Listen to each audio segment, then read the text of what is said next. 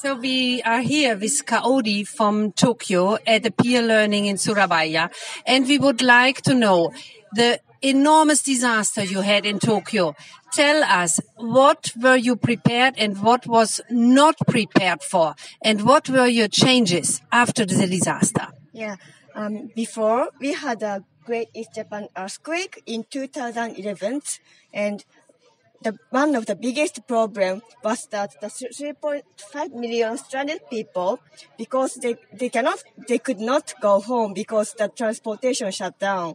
So they need they needed to stay or stranded in the city all day and night. It was a great problem. And so we we we thought we had prepared but actually we did not it was it didn't work at all. So we decided after that we decided to um, ask for the cooperation from um, private sectors.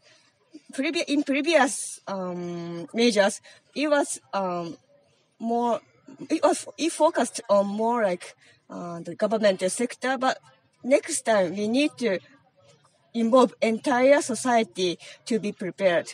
So we set up uh, ordinance for measures to uh, stranded people and ask for the cooperation to private sector and residents, commuters, everyone from that society. This is very exciting. So what will you do now? What are these new regulations? What does it mean for private sector? So for example, for offices, employers? Mm -hmm. Yeah.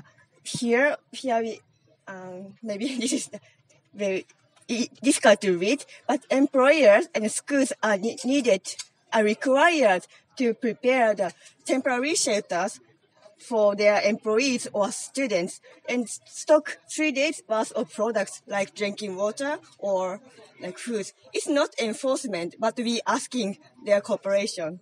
Yeah. And also to encourage them to carry out the measures, we, pre- we prepared incentive schemes for the private sector.